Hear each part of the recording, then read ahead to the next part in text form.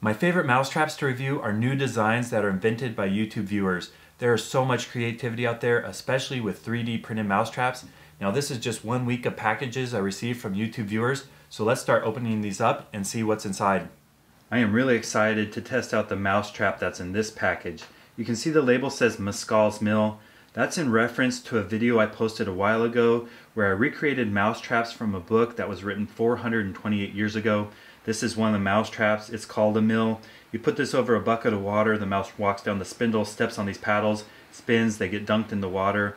This worked really well. And when I posted that video, I made a challenge to the YouTube viewers to improve this and make a modern design. And one of the YouTube viewers named Dave from Michigan, he's a CAD designer and he made a 3D printed Mascall Mill mousetrap. Let's open up the box and see what it looks like. I just love how this trap turned out. We have our four paddles with a hole in the center. On the end of each paddle, we have a place to smear peanut butter. That will be a nice treat for the mice to come out and get. Now you put the spindle through, put the ring on. There's a hole right here for a zip tie. That way the paddles, when they spin, won't come back. Then you connect it to the bucket with this little clip. You put that on. Two more holes for zip ties. Now I'm gonna go set this up on a bucket and see how it spins. We have a bucket here with a ramp. I put our 3D printed Mascall mill trap together with those zip ties. They hold everything in place. This is really well designed. There's a clip here that fits right on the edge of the bucket. To attract the mice, we just need to put peanut butter on the edge. Now I go through about one of these every two months by trapping every night. We don't eat peanut butter in my house because my kids are allergic, but let's open that up.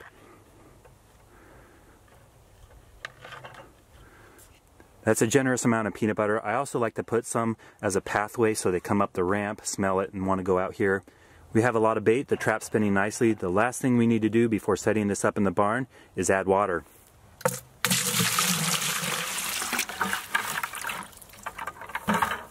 That'll do the trick. Let's go set up the motion cameras.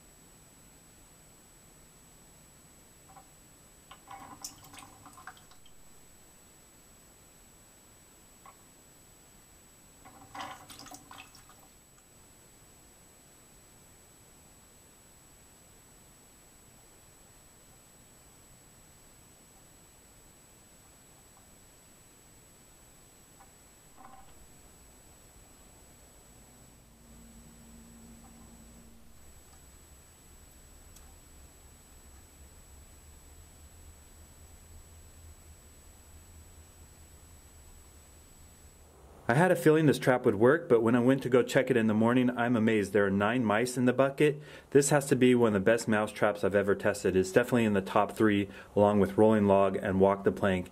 In a lot of ways, I like this even better because the spindle doesn't move. They feel really secure and they want to get the bait. They step on those paddles and they just get dropped in the bucket. The motion cameras didn't record every single mouse we caught with this trap, but the footage does show that this works well. Now I love posting a video, making suggestions. You never know who's going to be watching that. Dave took the idea, made a bigger spindle. He made this pretty quick. Within a few weeks, he had it all produced and shipped to me.